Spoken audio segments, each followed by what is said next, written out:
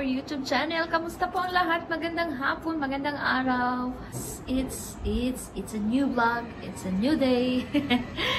Ayan, so since uh, last video, I just uh, talked with you guys about the, uh, my cancellation of my uh, train, of our train going to Calcutta. So I decided that I'm gonna pay it online. And good news or bad news? and I'm happy to say that yes, my visa is already converted.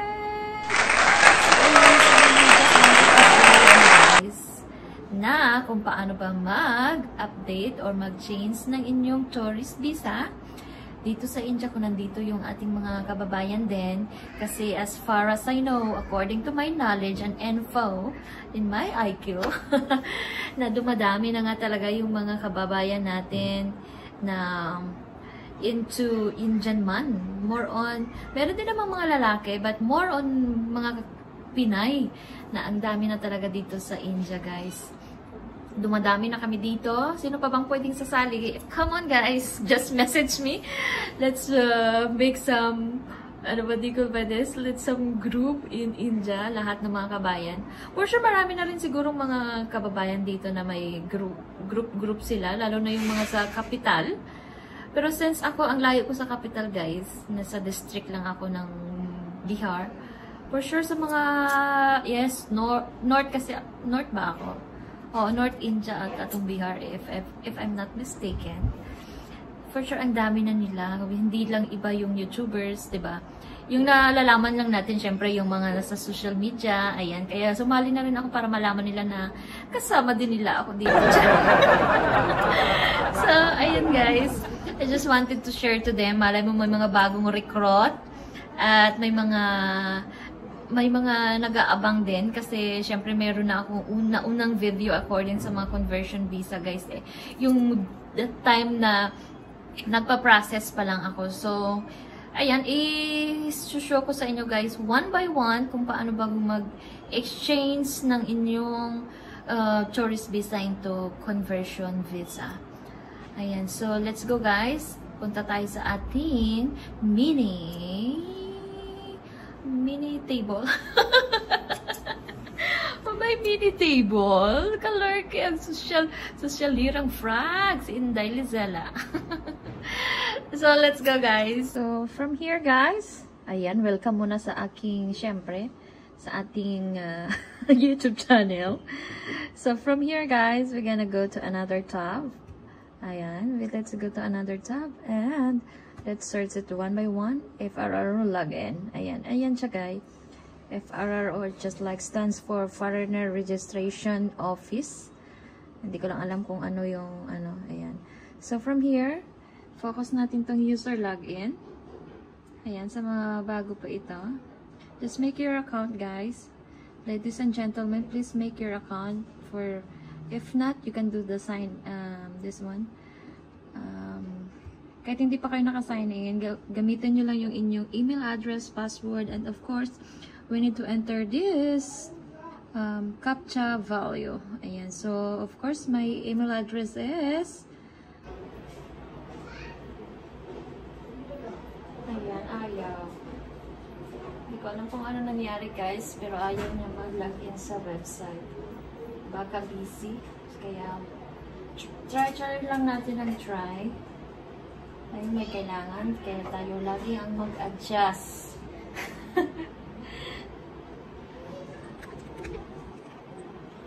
Ayan. So, or, dito ulit. Dito ulit ako, guys. Mag-login ulit ako. Okay. Ayan. So, back muna tayo.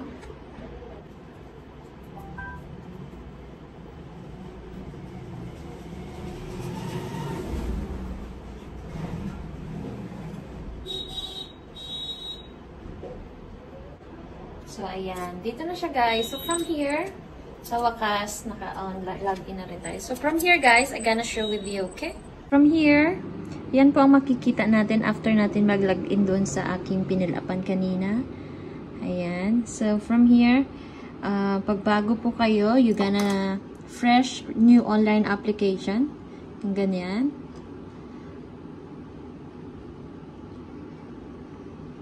Yan na nga yung i-click.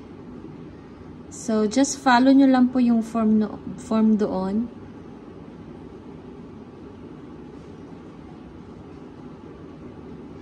So, since ang bagal ng ating internet connection, guys, ayan, so, children's, ito laging sinasabi, children below the age of 12 years are exempted from FRO registration. Ayan, so, The applicant should be present in India while applying for and for grant visa related. So, ayan lagi yung sinasabi dyan sa taas.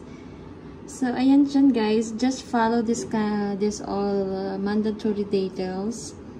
So, sa akin, yung ginamit ko dito, um, visa extension dati, hindi. New visa. Kinuha ko yung new visa. Ayan. New visa and then yung iba kasi dyan. Ayan. Ayan ganyan ganyan lang guys. You just follow it. Follow nyo lang lahat lahat yan. Then of course send nyo lang yan dyan guys. Visa sa visa type of course. Yung dati kasi nasa e-visa kaya e-visa isulat nyo dyan here is ayan, kunwari ito hmm, A-visa yung sulat mo dyan. Still A-visa pa rin yung isusulat mo dyan, guys. So, back from the pag after nyo yan, isign nyo lang yan, guys. Ayan. So, i-back nyo lang yan. So, from here, guys, pag tapos na kayo mag-fill up nyan, makikita nyo yan later on after 24 hours ata or 2 days yung status inquiry. So from that, kailangan nyo lang ng lagi nyo lang to status inquiry and then kasi magfa-follow up yan si FRRO sa inyo sa documents. Ayan. Mag-e-email yan sa inyo or mag-text sa ginamit nyong number. So make sure that your number are working dito sa India kasi minsan doon sila nag-send ng mga missing documents. So, since nag-convert ako guys sa aking ng aking visa, so kailangan mo rin ng ano, yung pag-rented, andyan naman yung mga explanation dyan guys eh. Yung mga printed na mga documents, kailangan po nyo yan i-prepare guys yung inyong marriage certificate which is registered in India para mas madali. Hindu or Muslim, kailangan po yan. So, ayan, yung inyong email address na nilagin, yan po dapat ang inyong gagamitin. Make sure that it's also working, guys. Kasi dyan din sila magsisend ng details, tsaka yung, uh, yung inyong visa pag na-approve. Ayan, pag may mga, ano, yun, one by one nyo lang ito, guys, itong mga uh, column nito, tawag nito. Every uh, uh, box na ito, may mga mission. So, yan lang. Always remember your password, guys. Kasi within uh, six, one week ata, um, nag-change sila. So, pwede nyo naman siya i-change, change. Ayan, pwede, lag, katulad ko lagi kung nakakalimutan yung uh, password ko. Kaya lagi akong oh, forget password. Madali lang naman mag-forget password, guys. Basta make sure lang na working talaga ang inyong email na ginamit sa pag-register dito. Ayan, so, That's it for now guys. Dito sa akin, yung aking, yung last ninyo ay payment. Ayan, prepare nyo lang ang mga documents nyo dyan guys. Kasi sa mga photo and document upload, ayan, makikita dyan automatic sa every column. Kailangan ng passport size uh, picture, white background. Of course, your visa before na pumunta kayo dito sa India. Dito nyo yan ilalagin visa sa India dati, your, yung tourist visa nyo, yung marriage certificate mo, tsaka yung um, tawag nito, C-form, tawag dito C-form ng uh, kung naka-registered yung kasi sa akin yung gamit ko na ano accommodation yung bahay ng aking father-in-law so naka-registered rin dapat mayroong ano naman dyan guys i-guide naman kayo dito sa photo and document upload. So, if you cannot understand, I'm just, uh, just message me there down guys and I will help you. Kabayan naman, so I'm ready to help you guys. So, dito last yung payment. Ito reprint application PDF. Papakita ko sa inyo guys yung aking reprint. Yung aking application dati. Okay? Here we go. Ayan. Akin to lahat. Ang dami-dami kong request kasi nga I'm so lucky na nag-ano ako guys. Tawag nito. Um, free yung visa ko kasi extend, extend. Actually, yung visa kasi guys, hindi pwede extend yan if yung tourist visa. But since it's due to COVID, ayan, nakalibre. nakalibre ako ng isang taon almost, which is like, oh, mga 10,000 rupees lang din naman. But, you know, for me, just like, it's a big one because I'm not earning. So, ayan. Andun na lahat, guys. So, ngayon lang ako magbabayad. How much nga ba yung aking visa? Actually, yung aking conversion visa, guys, it's free of cost. Ayan, libre po siya. And then, uh, status inquiry, check natin.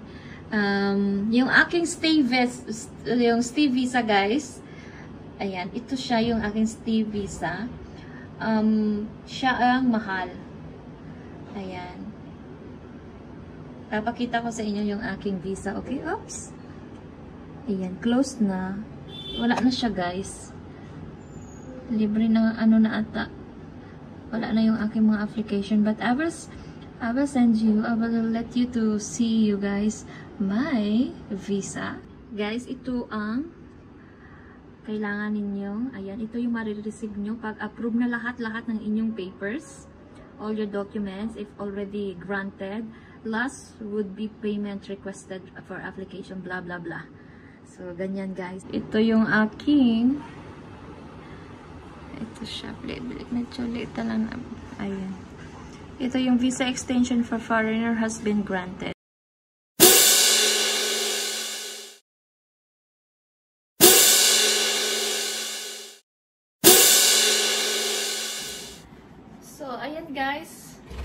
So, that's it. Ayan guys, yung ating um, madaling tour lang kung paano ba mag-change ng inyong visa sa dito sa India. So, I hope guys that I share with you some info and some knowledge. And if you cannot understand guys, my uh, quick uh, review, don't you worry, please leave them comments there down below so that I can answer all. Eh, to all my kabayan, don't you worry. Um, open po ako sa mga friendship natin dito sa India. So, no need to worry na baka hindi ko kayo replyan. I'm gonna reply you as soon as I can read your comments. So, sino ba ba yung magtutulungan dito sa India? Siyempre, tayo-tayo lang din. So, ayun lang guys. Thank you so much everyone for watching. Hi, thank you. Bye-bye. Take care.